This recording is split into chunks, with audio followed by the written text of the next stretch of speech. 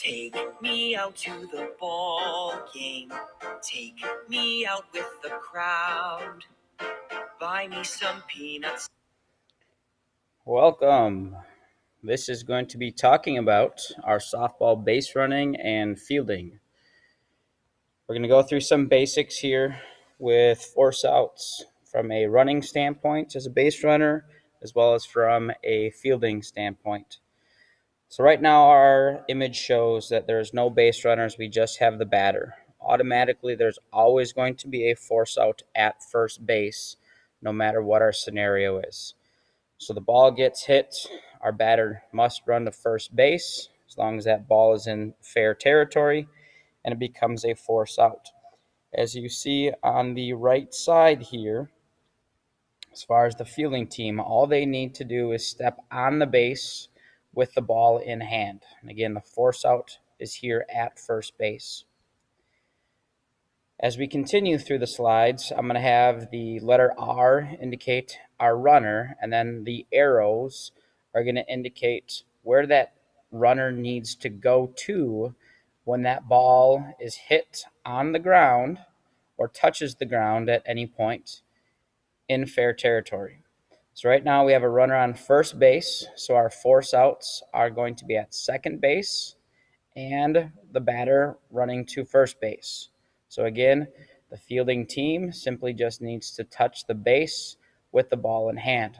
If that ball is hit in the air and it has not touched the ground yet, the base runner here at first should not take off and run immediately to first or to second base because it has not touched the ground yet. That's the, our, our, our idea of tagging up.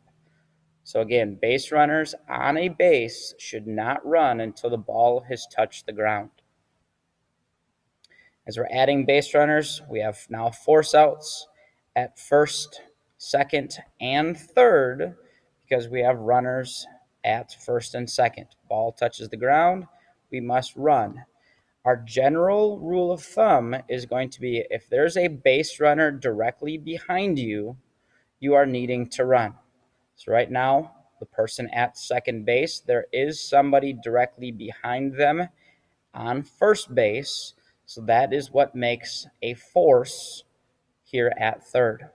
Same idea. The person at first base, the person directly behind them is the batter at home plate.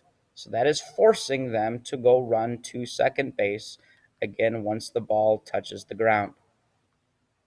And our last scenario is if there's a person on every single base once that ball touches the ground in fair territory. Now all base runners are force outs, and the fielding team can simply touch the base with the ball in hand.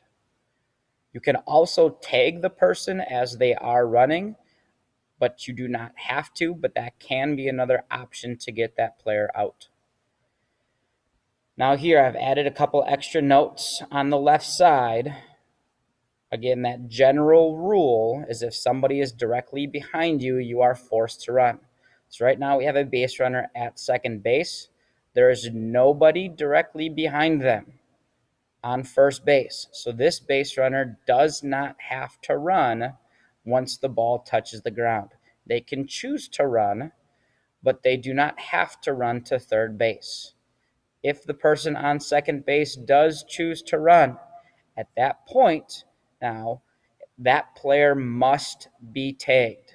So down here, if he or she chooses to run to third base, they must be tagged with the ball or with the glove as the ball is in hand we still have a force out at first from the batter. Another scenario, we have runners on first and third base. Runner on third base is not a force out, nobody directly behind on second base. Runner on first base is a force runner.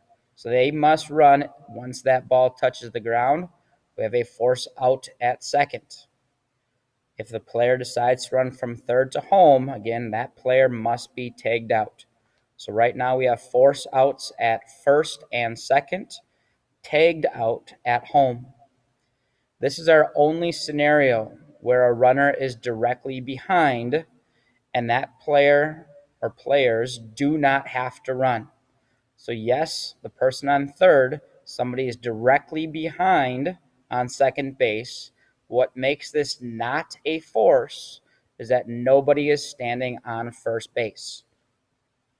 So, if both runners choose to run, both runners are non force players and must be tagged.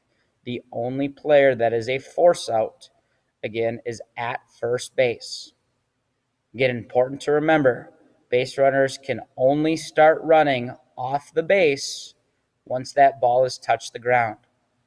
If they leave the base, they must go back before the they can run to the next base once the ball is caught in the air.